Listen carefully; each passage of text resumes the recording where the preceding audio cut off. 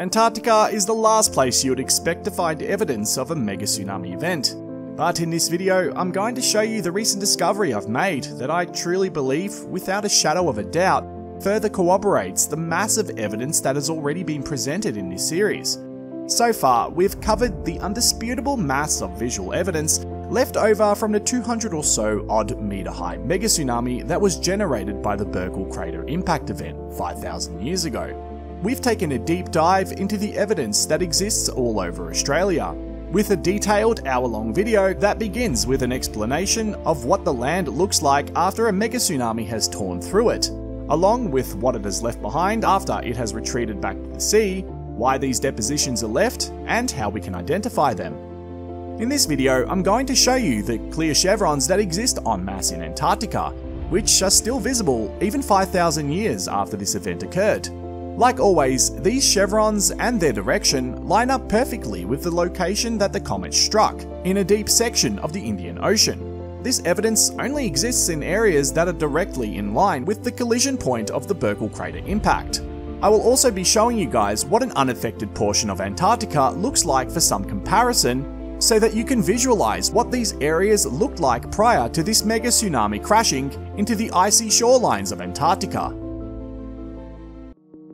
Whilst the idea to check out Antarctica did occur to me when I first began this series, I finally got around to it about a week ago, and, well, I was shocked.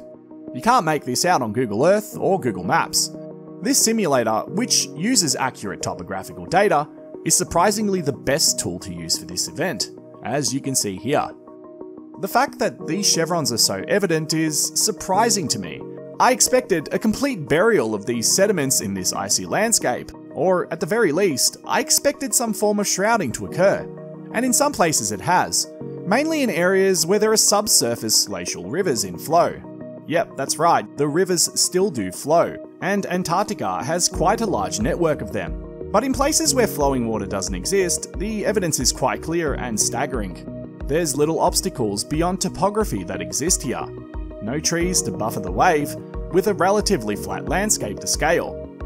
As occurred many times in the Australia series, we see some areas that bore the brunt of the direct wave, which sheltered certain locations from the intense direct hit whilst others that surrounded it, that weren't protected, clearly show a marked level of higher intensity, with it also absorbing much of the sediment too, leaving smaller chevron deposits behind in the area that did not absorb the direct impact, with it also absorbing much of the sediment too. So how do we know that this isn't just aeolian processes? Antarctica does have some pretty strong wind currents that circulate it, and this process of wind-driven erosion, or the shifting or accumulating of sediments, is definitely one of the key players in regards to the shaping and visual features present on Antarctica's surface landscape. Here, we will see a very familiar Aeolian type pattern. We normally see this type of thing in a desert, and, well, Antarctica is a desert after all, a very icy desert. So, this is Antarctica as it was before this tsunami hit. You can very clearly see the directional aspect of the chevrons, we have flattened, unaltered, somewhat unremarkable land, dominated by horizontal or vertical windblown formations like this. And then, all of a sudden, we have sediment accumulations, clearly left behind by this mega tsunami event. At this point in time, the evidence is kind of seeming very clear to me. I've tracked chevrons in a 360 degree direction from the epicenter of the Burckle crater impact now. From Tasmania to Indonesia, west to India, then Pakistan, then Iran, before heading south and finding evidence in Oman and Yemen. After this, in Africa's Somalia, the clarity of the impact scales up, before peaking at Madagascar, with the largest chevrons occurring there. Evidence then recommences in South Africa, and after this, when we move to the southeast, we now have these ones in Antarctica.